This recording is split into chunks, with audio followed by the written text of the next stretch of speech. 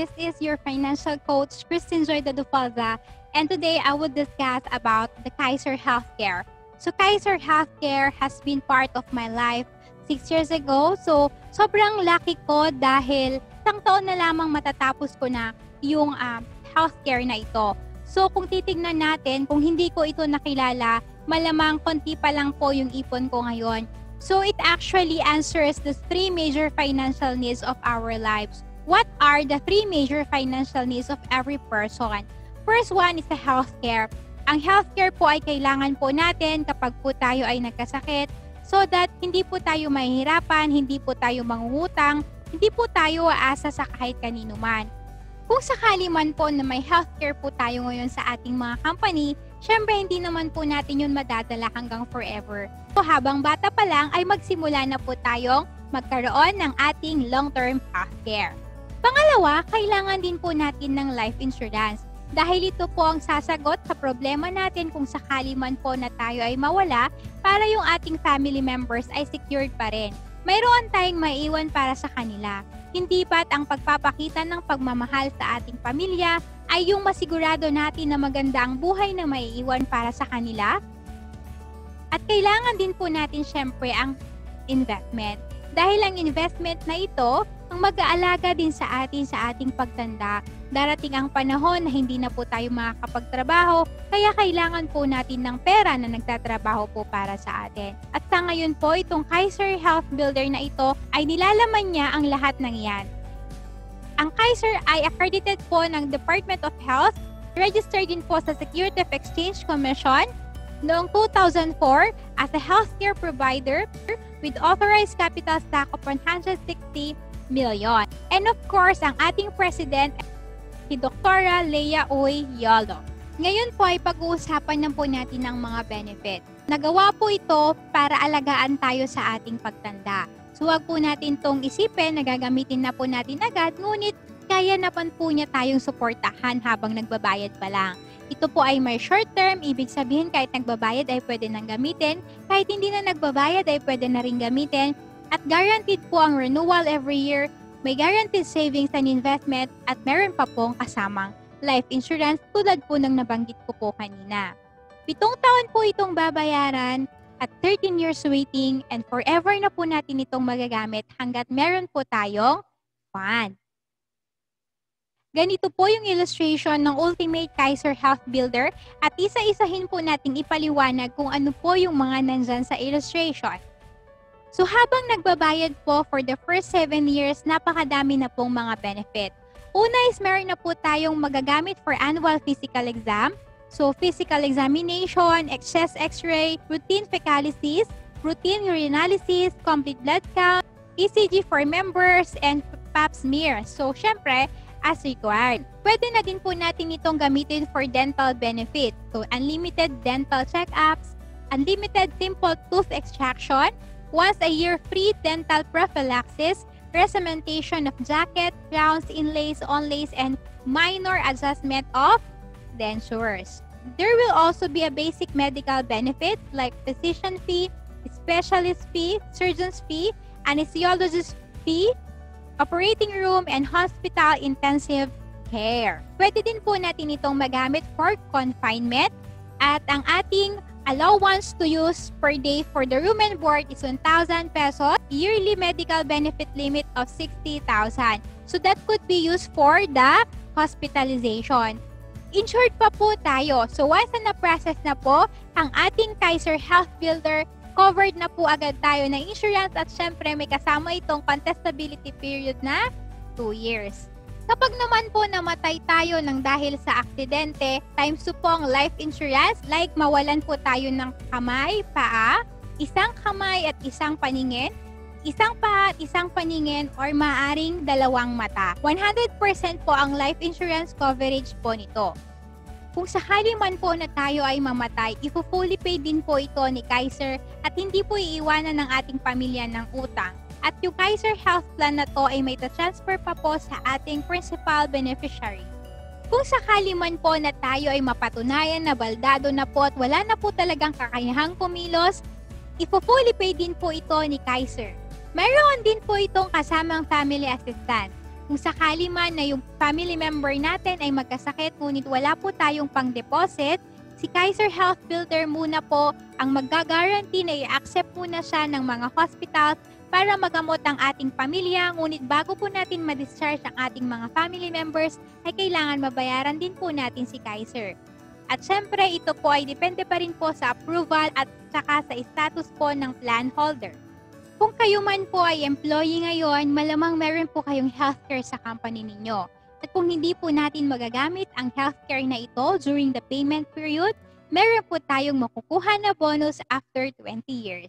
Ngayon naman ipag-uusapan po natin ng extended period or 8 to 20 years. Hindi na po tayo magbabayad sa panahon na ito, ngunit mayroon pa rin po tayong mga benefits na ibibigay ni Kaiser. So pwede po natin itong gamitin for outpatient benefit, pagpapacheck up for confinement in the hospital, pre-existing condition kahit na dati pa nating mga sakit, dreaded illness, maternity benefit, and dental benefit after 7 years of paying and 13 years of waiting, meron na po tayong settlement option. So may mga bagay po tayo na pwedeng gawin after 20 years. Ang unang settlement option po natin is pwede po nating i-convert ito as our life insurance until 80 years old, but at least 50% of the total health benefits but not to exceed of 2 million face amount.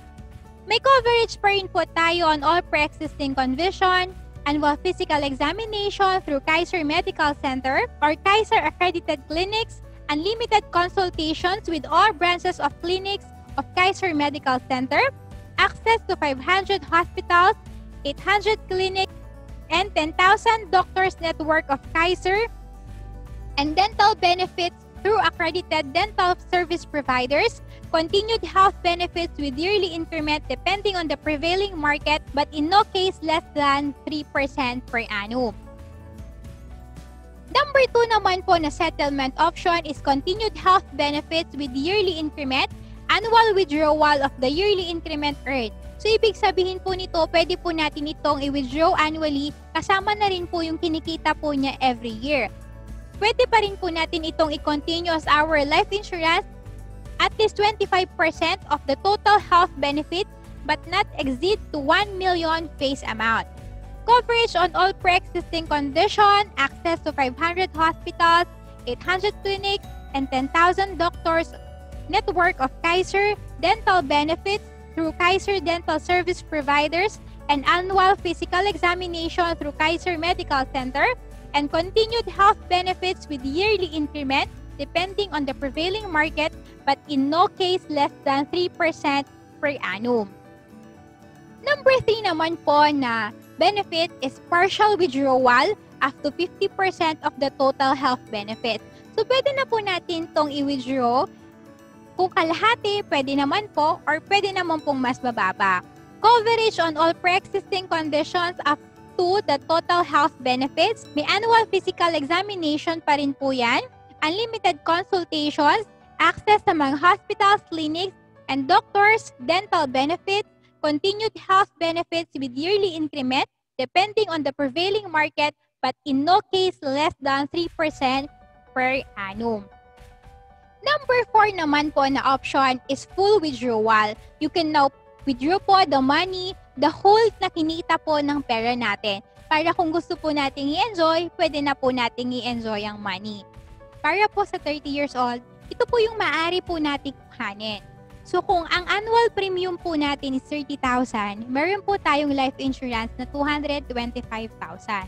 Ang contract price or ang kabuang babayaran po natin is 210,000 and at the maturity value is 583,000. Ibig sabihin, ito po yung makukuha po natin after 20 years and at 10%, 58,000 po siya per year.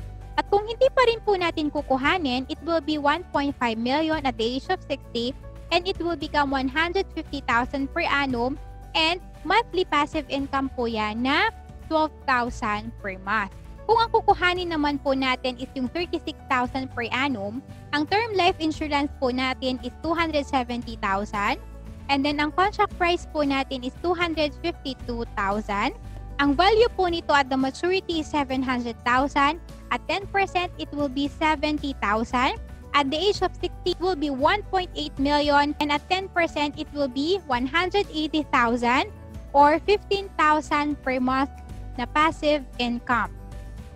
Kung tayo naman po ay kukuha ng annual premium na 45,000, ang term insurance po natin is 375,000, contract price na 315,000, 875 at the maturity value. Kung i-invest po sa 10%, it will be 87,000 per annum. And at the age of 60, it will become 2.2 million. And of course, at 10% interest rate, it will become 220,000 and ang monthly passive income po natin is 18,000. Kung kukuha naman po tayo ng plan na 60,000 per annum, 450,000 po ang term life insurance nito and then ang contract price po niya is 420,000 at the maturity value it will be 1.1 million, 110,000 per year po siya per annum and at the age of 60 po it will be 3 million. And yung 3 million ng 10% niya is 3,000 pesos per annum. So that could give you actually a 25 per month na passive income. Ang pwede pong kumuha ng Kaiser Health Builder ay pwede po sa 10 years old hanggang 60 years old. So kung kukuha po tayo ng K100 plan, ang annual po natin is 58,821. Semi-annual is 31,764. At quarterly, 17,058. And at monthly is 5,882. And for spot cash, this will only be 369,200 pesos. Kung tayo po ay magbabayad ng annual, discounted po tayo ng 2 months. Kapag semi-annual naman po, discounted po tayo ng kulang-kulang na isang buwan. Quarterly, may discount din po. Malaki din po ang discount ng spot cash. So kung tayo po ay kukuha ng plan, syempre doon na din po tayo sa mas mataas na plan because the better the plan, the better the benefit. Sa buhay po natin ito, habang tayo po ay malakas, mag-prepare na po tayo. Maaring ibigay natin ang lahat-lahat sa ating 20 to 60 years na pagtatrabaho, our productive years, ngunit kailangan din po nating paghandaan ang ating retirement.